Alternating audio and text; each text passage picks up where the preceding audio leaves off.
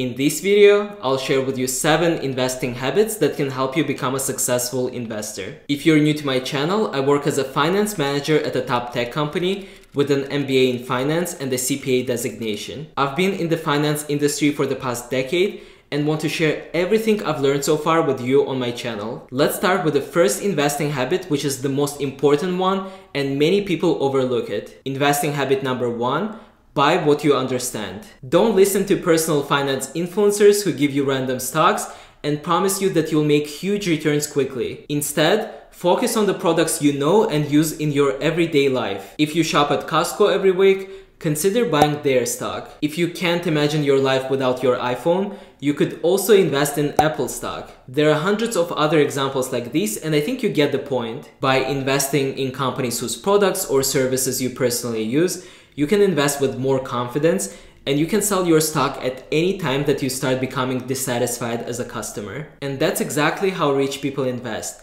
They don't put their money into anything they don't like or understand. Investing habit number two, diversify. Don't put all your eggs in one basket or in this case, don't put all your money into one stock. If that company starts losing money or goes bankrupt, you'll lose all your investment. Instead, you should make sure to diversify your investments. This means to invest in different companies and also in different sectors. Don't only invest in technology companies, for example, because the tech industry overall can experience an economic downturn and you could lose a lot of your money. Diversify by also investing in retail companies, financial companies, real estate companies, manufacturing companies, and others. This will ensure that your money is protected and growing even if some companies or sectors experience declines. Investing habit number three, stop day trading. Day trading is a form of gambling. Day trading is when you buy and sell the same stock within the same day with the hope of making a small profit. You're way more likely to end up losing all your money instead of making any money. Day trading is super risky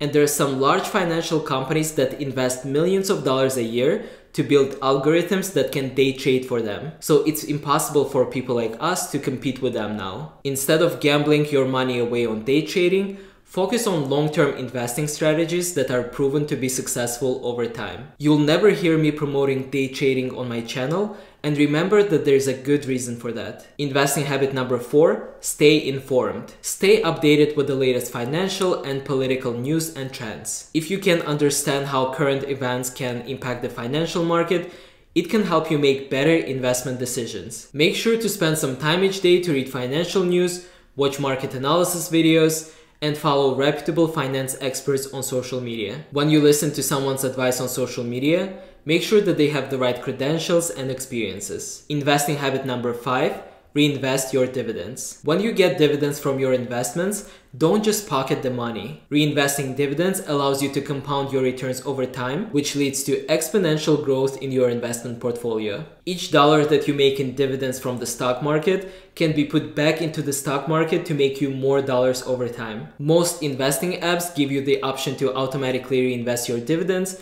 so you don't really have to do anything if you have that turned on. Investing habit number six Stay patient. Successful long-term investing requires a lot of patience. Don't panic and sell your investments during small market downturns. It's very normal for stock prices to fluctuate and go up or down in value in the short term. Instead of panicking, stay calm and stick to your long-term investment plan. History has shown that markets tend to recover from downturns and patient investors get rewarded in the long run. Investing habit number seven, rely only on yourself. While it's okay to ask for advice and learn from others, remember that ultimately, you are the only one responsible for your investment decisions. Take the time to educate yourself about investing principles, strategies, and potential risks. I'll also be covering all this on my channel if you're interested in learning more. But trust your own judgment and do your own research before you make any investment decisions. By relying on yourself, you'll become a more confident and successful investor in the long term. I hope you found this video helpful and that all of you become successful long-term investors. Thank you for watching this video and I'll see you in the next one.